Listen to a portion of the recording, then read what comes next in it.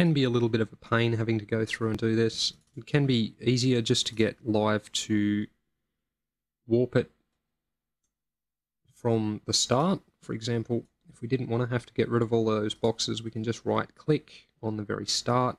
We can go warp 88.03 BPM from here, which gets rid of all of our warp markers from that point, and then we can just go quantize settings from there, which solves all that little bit of extra work that we were having to do. So again, if we just have a listen to that now.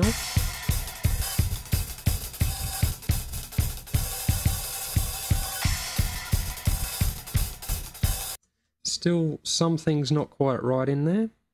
So we'll just have a bit of a listen.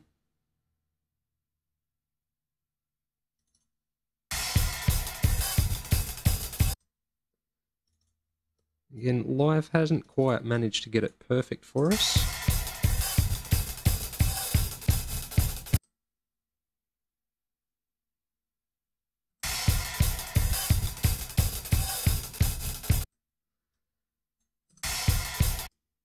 So what we might actually do is just get rid of these warp markers for the moment.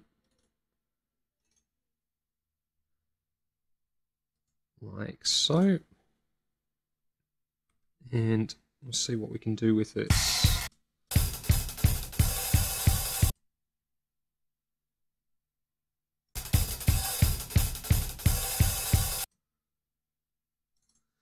So that one should be about there. Fix these guys up. To save us having to do a three hour tutorial on how to get these guys sorted out, we're only going to do the first few bars of both the drums and the bass but it will give you a bit of an idea of exactly what's required to be able to get this sort of stuff tidied up. As I said earlier, this recording was very rushed. We didn't have a huge amount of time, and we also didn't have a huge amount of equipment in order to be able to get the recording done. So it was a little bit of a challenge, and it was also a challenge for the musicians because they had to get stuff pretty perfect in the time that we had available. So considering that we didn't have the best gear and didn't have a whole heap of time, it's actually it actually hasn't come out too bad considering. And thanks to these handy features in Live, it is completely possible to completely tidy up all of this recording and make it completely on the beat without it really being that noticeable. So we've tidied the first few bars of this up. Might just go one more bar, give us four bars to play with.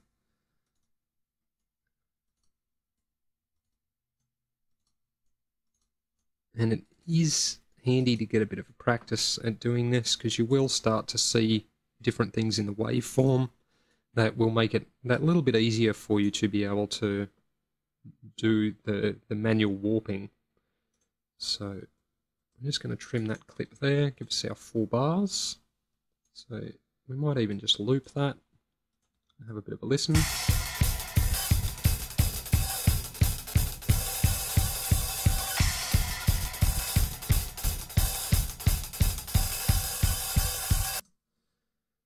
And now all we have to do is get our bass to match that. So again, we're just going to go to our first transient and we're going to get it to set the start of the clip there. We'll find our four bars. As we can see, you can see with the waveform, even if we turn that up a little bit and make it easier, you can see how it's louder at the start of each bar, so that automatically makes it that little bit easier for us to figure out what's going on. So we'll just make sure that that's all locked in for the moment, and then we'll trim that clip up like so. We're also going to just quickly do this one manually. Again, just a matter of locking all of the transients in to where they should be. General rule, you can normally see what needs to go where simply because the transient will nearly always be closest to the beat that it's meant to be locked to.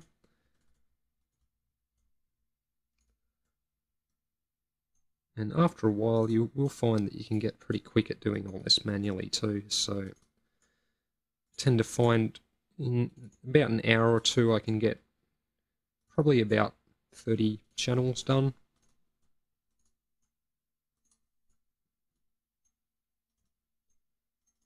And we'll just fix up that last one as well. So if we then play those together, I'll just bring that bass level back down a little. Have a listen to that.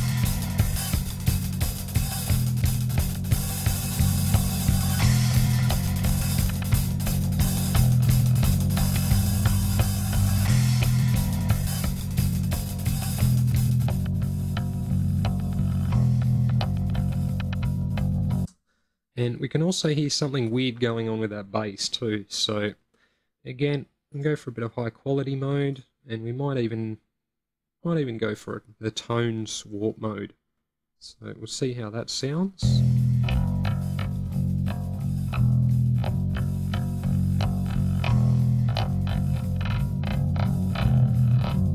Texture doesn't seem to do it.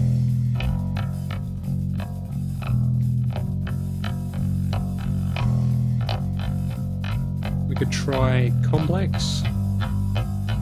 As you can hear, that tends to add a little bit of a vocoderish sort of sound that you can just hear in there.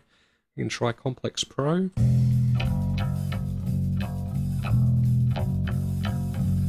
Again, there's got a bit of that formanty sort of vocoderish sound. We might stick with tones for the moment.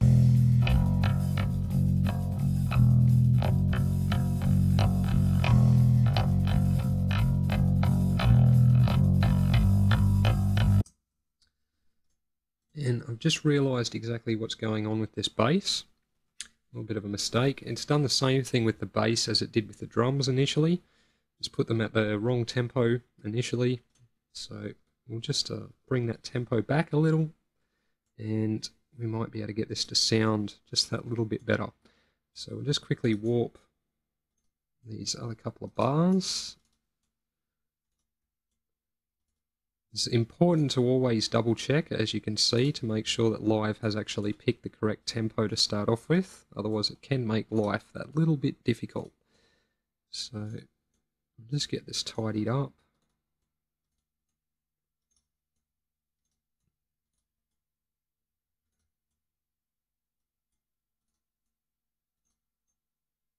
That's why sometimes it can be good to see other people make mistakes because that way you can learn what mistakes not to make yourself. So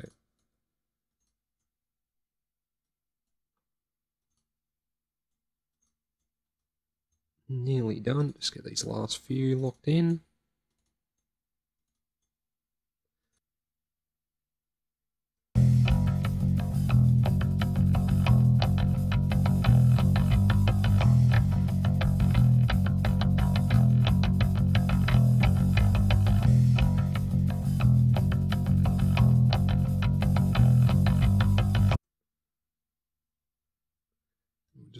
Fix up the length of that clip. And also not got this starting on 1-1, so we'll just fix that up as well. So if we bring the drums back in, bring their volume back up a little, and play those together, hopefully we should have something that sounds the way it should.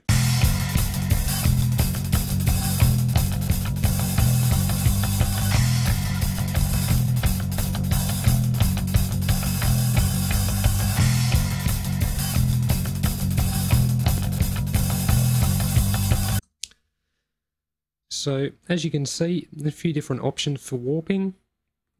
A few different ways you can do it, whether you do it manually, whether you do it automatically. Although if you do it automatically, as I've said, you should always double check to make sure that Live's done it properly. Otherwise, you might find that you're going to have to go back and repair stuff, which can make life just that little bit difficult.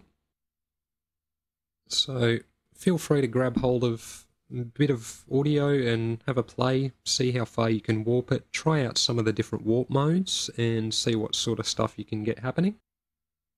So as you can see there is a couple of different ways to warp your audio and get it all in time, whether you choose to do it one of the two automatic ways or whether you do it manually.